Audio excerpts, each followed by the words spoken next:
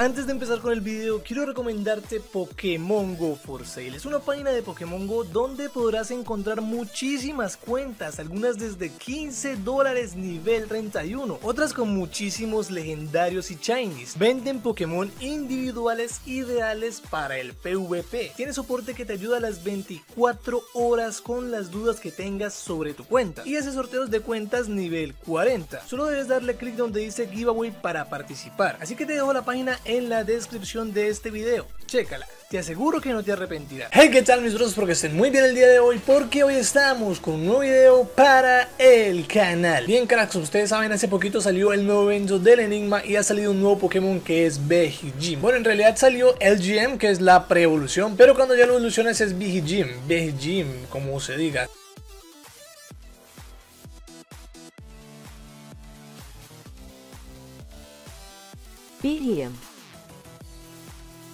Birium. Birium. Behillem. Behillem.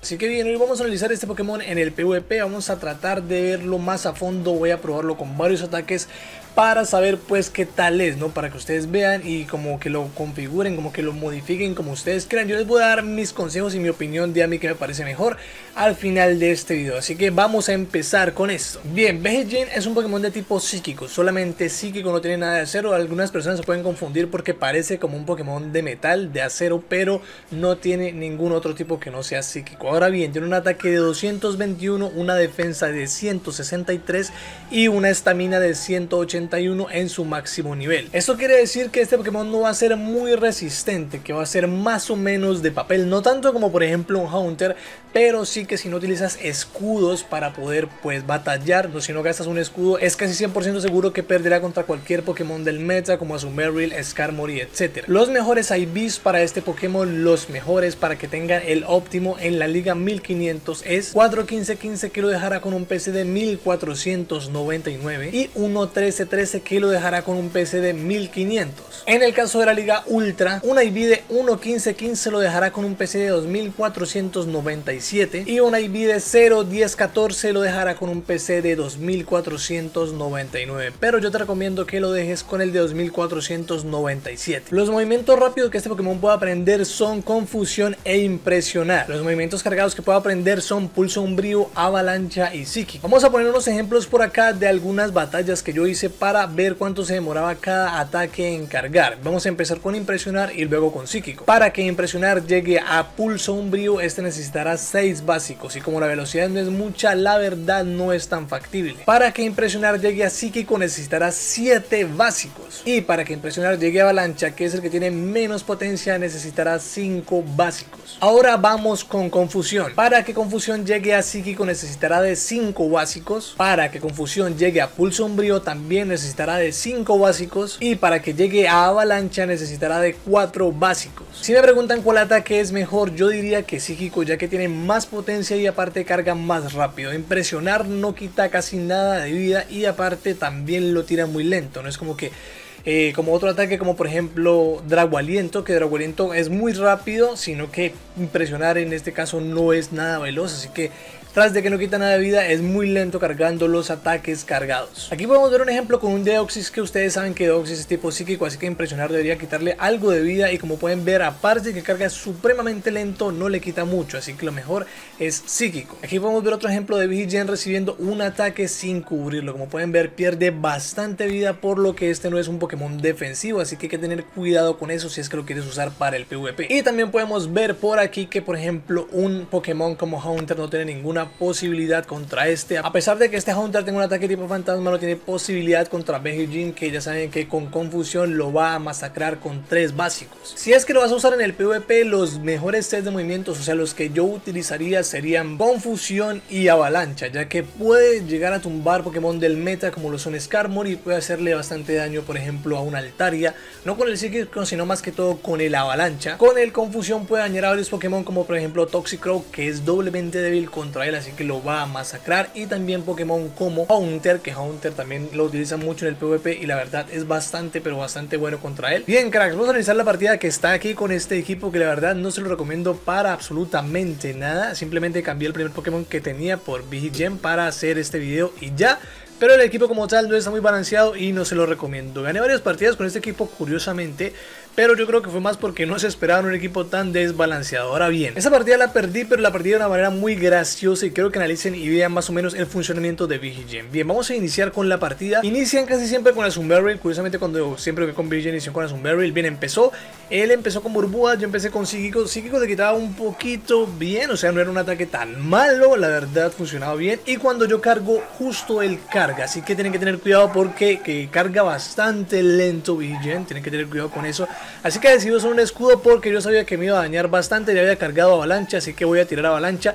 Aquí empiezo a cargar el avalancha, inicio normal, normal. Digo, ¿será que se va a cubrir? ¿Será que no se va a cubrir? Porque eh, no lo aguanta, lo aguanta bien el avalancha. Así que yo cambio instantáneamente a Bomba Snow y él cambia a Haunter. Que yo dije, que acaba de pasar aquí y obviamente ese cambio fue el que me hizo perder la partida el culpable fue ese cambio pero es que yo no sabía para nada que él me iba a cambiar por un Haunter o sea yo hubiera sabido que él me iba a cambiar por ese Hunter y obviamente yo dijo a porque lo hubiera masacrado con simplemente tres básicos de confusión. Así que bueno, él cambió a ese Hunter, seguimos la batalla normal. Yo utilizo un escudo porque digo, el bombalodo me va a masacrar. Así que trato de farmear rápido ese Hunter porque yo sé que solamente con un ataque cargado del el meteoro bola yo lo vuelvo literalmente basura. Así que sigo cargando rápido el meteoro bola para ver si lo puedo lograr dañar. Pero ahí se vuelve a cubrir, él gasta sus dos escudos con ese Hunter y yo digo, bueno, no importa. Ahí entonces yo sigo, sigo, sigo y viene otro ataque que yo digo, ya no tengo más escudos, ese bombalodo me va a masacrar literalmente, se me está dando la silla.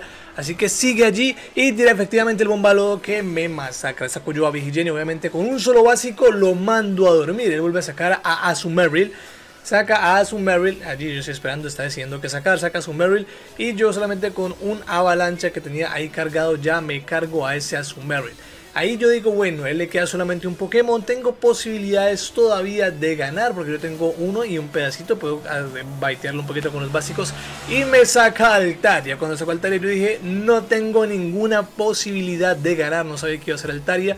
Obviamente saco a Toxicrow, pero Toxicrow no tiene absolutamente nada que hacer con ese Altaria ya que él es tipo lucha, es tipo lucha veneno y con ese tipo lucha lo masacra con un ataque aéreo casi, casi me desinstala el Pokémon Go del teléfono y ya con un básico más lo acaba. Pero ustedes pueden ver que, bueno, cubriendo, el Big dio una, una buena batalla, pero ya saben que si le hubiera pegado ese rayo hielo, literalmente no hubiera podido hacer nada ese Big. Como ya les había dicho antes, no es un Pokémon muy resistente por lo que tiene las de perder con la mayoría de Pokémon del meta, como por ejemplo Skarmory. Le puede hacer bastante daño, como por ejemplo con una avalancha, no lo va a dañar del todo.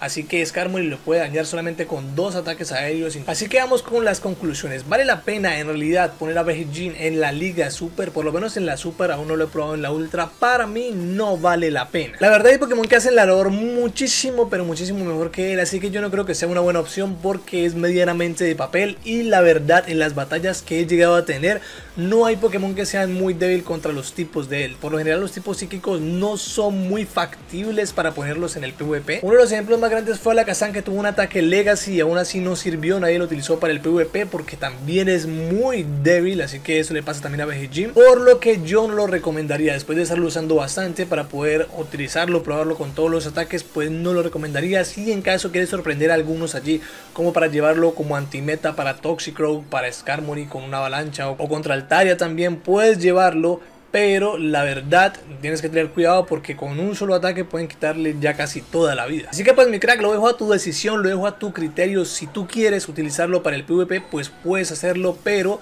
hay Pokémon que la verdad cubren mejor este ámbito, como por ejemplo Himno. Himno también es un Pokémon de tipo psíquico, pero es mucho más tanque que Vegijin.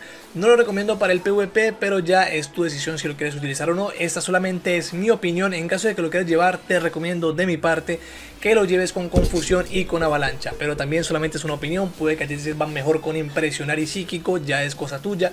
Yo solamente te dejo ahí la opinión. Y mi crack, si tienes alguna idea de otro Pokémon que quieres que analicemos más a fondo, pues déjalo en los comentarios. Y no olvides dejar tu like. Muchísimas por ver este video y nos vemos en la próxima. Chao.